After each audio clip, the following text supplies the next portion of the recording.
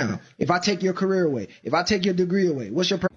They then go on to say that your purpose as a woman is to have children, and if you haven't done that, you failed.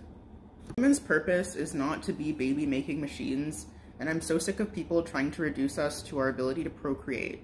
So that idea is stupid and really needs to die. I'm not saying that women who have children haven't done something that's a beautiful and amazing and great thing, because it is beautiful and amazing and great, but it's definitely not the end all be all of accomplishments, and you're not a failure if you haven't done that.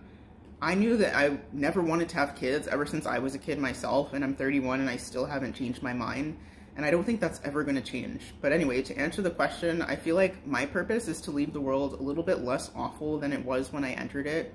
And I could still do that, even if I didn't have my career, if I didn't have my education, if I wasn't a doctor, I could still do that. But being a physician enables me to do it in the way that I want to do it. That's what my purpose is.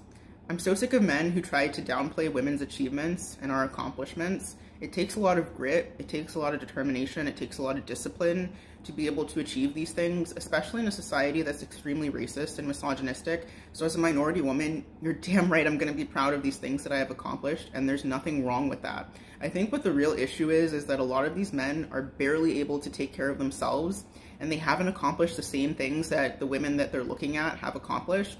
So instead of like being proud of the fact that you've be, been able to persevere and achieve these things, they'll try to tear you down and downplay your accomplishments.